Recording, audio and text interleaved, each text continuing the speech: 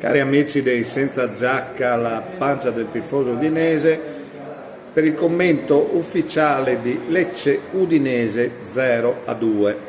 Allora, che dire, grandissima prova dei friulani che dovevano assolutamente vincere, ci sono riusciti e quindi tutti noi, popolo bianconero, siamo contenti del risultato, contenti della prestazione, grande grinta, finalmente sul finire di campionato abbiamo dimostrato quello che effettivamente c'era mancato nei eh, mesi scorsi. Riavvolgo il nastro e riparto. Ragazzi, la partita più ridicola degli ultimi 25 anni della storia del calcio. Praticamente Primitivo di Manduria contro Tokai 0 a 2. Fortunatamente i tre punti ce li siamo presi. E, ehm, li avremmo presi, potevamo dichiarare questa vittoria anche ad agosto 2023 che comunque sarebbe stato, eh, non, non avremmo sbagliato sicuramente il pronostico.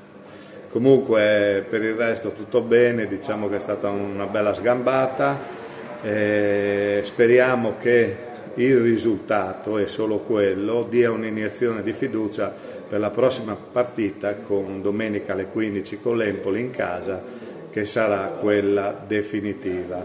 Diciamo che se riuscissimo a fare tre punti con l'Empoli in casa andremmo a Frosinone già salvi e quindi sarebbe tutta un'altra cosa.